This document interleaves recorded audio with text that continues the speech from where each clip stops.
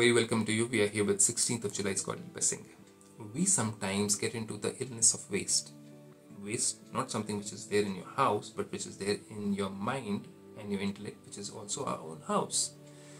As a soul, we always are thinking about going ahead in life, progressing ahead in life, and becoming successful. But at the same time, we are thinking a positive thought, and at the background, we have too many doubts.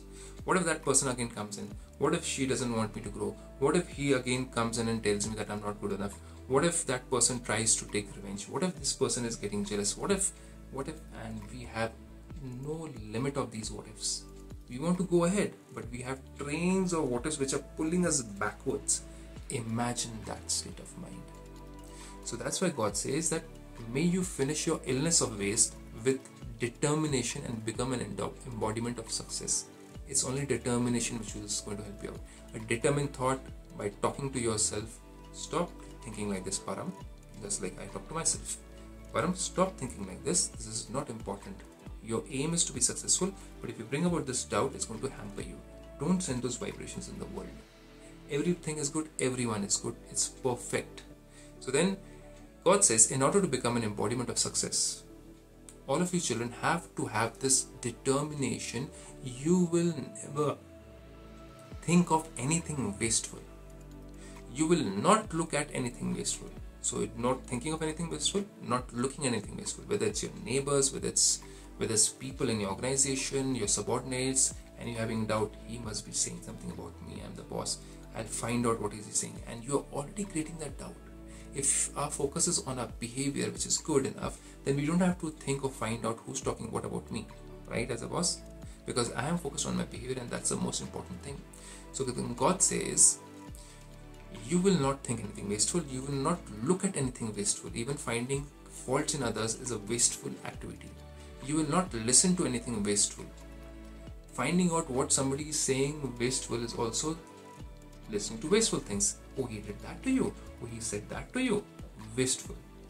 You will not speak anything wasteful and you will not do anything wasteful. Even speaking about others talking about what how bad it is and how some things can happen how some people are against you or how some people are taking revenge. And that is also wasteful. Do not do anything wasteful. So even talking about it is a wasteful karma.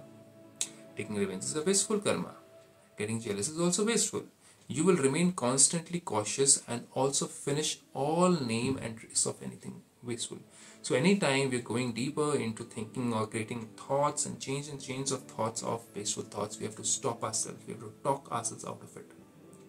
The illness of waste is very serious and it doesn't allow you to become a yogi. It doesn't allow us to connect to God. All the time we have so many wasteful thoughts and they're coming in the form of pictures in front of our projector yes we project right? We visualize something. So that's a projector. So we are projecting something on a daily basis. We are projecting about our neighbors. We're projecting about the difficulties. We're projecting about how somebody can become a uh, a pain how somebody can become a hurdle in our life how somebody will not let us grow. And we're always thinking that and that's what we're visualizing. But they are all going to be helping us out to progress ahead. How about that thinking? Imagine that. Then god says with the power to pack up the illness of waste is very serious and it doesn't allow you to become a yogi because waste is expansion. It's too much of expansion, too many thoughts, too many energies going in different directions of you, the soul. With the power to pack up, pack up means my aim is this. Forget about all the things, situations, and what people are trying to do.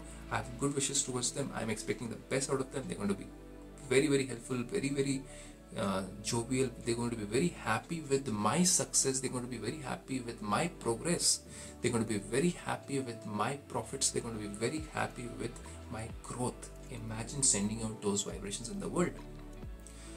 So god says with the power to pack up stabilize your intellect that wanders in expansion into its stage of essence. And you will then become an easy yogi and an embodiment of success. Don't you want that?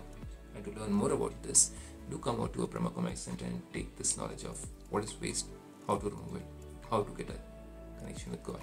Om Shanti with this.